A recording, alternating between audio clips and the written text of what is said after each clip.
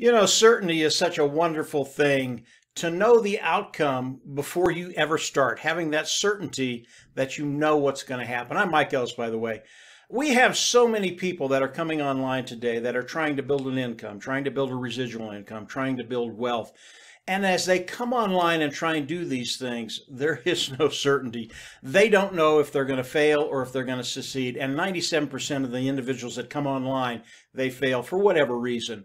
And if you can bring some certainty to the table, knowing that you're going to be able to take care of that bottom line, knowing that you're going to be able to build an income, build a residual income, and build wealth, it is just revolutionary. What I'd like to do is for you to go down below. I've got a video down there, and I'm going to go over things from head to tail, and it's going to bring certainty to that question, can I build wealth online?